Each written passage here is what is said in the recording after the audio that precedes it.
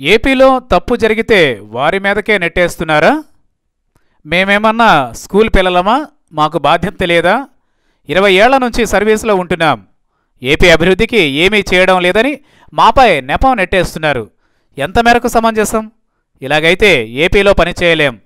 రెండు రోజుల పాటు ఉండవల్లిలోని సీఎం చంద్రబాబు నివాసం సమీపంలో నిర్వహించిన కలెక్టర్ల సదస్సులో పాల్గొన్న పలువురు సీనియర్ కలెక్టర్లు నేరుగా మీడియా ప్రతినిధులతో చేసిన వ్యాఖ్యలివి కొందరు బాహాటంగానే ప్రభుత్వం తమపై మోపుతున్న భారాన్ని మీడియాతో పంచుకోగా. మరికొందరు తుగ్లక్ పాలనలోనూ అధికారులపై ఇలాగే మాటలనేవారు అంటూ వ్యంగ్యాస్త్రాలు సంధించారు. ఇంతకీ వీరిలో ఇంతగా ఆగ్రహం కట్టలు తెగడానికి కారణమేంటి?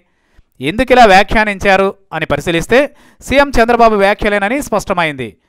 విషయంలోకి వెళితే రెండు రోజులు నిర్వహించిన కలెక్టర్ల సదస్సులో చంద్రబాబు సదరు కలెక్టర్లను ప్రతి మూడు మాసాలకు ఒకసారి స్వయం పరీక్ష పెట్టుకుని ఎవరికి వారే మార్కులు వేసుకోవాలని కలెక్టర్లకు సూచించారు. అభివృద్ధి ఇంటి పేరుగా మార్చుకుని కలెక్టర్లు రాష్ట్రానికి సేవ చేయాలని సూచించారు. అంతేకాదు తనలాగా మారైనా రాష్ట్రానికి సేవ చేయాలన్నారు.